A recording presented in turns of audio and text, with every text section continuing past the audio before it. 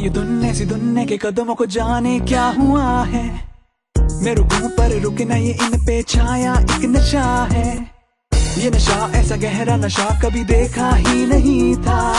क्या करूँ, क्या कहूँ, ऐसा होगा, मैंने सोचा ही नहीं था।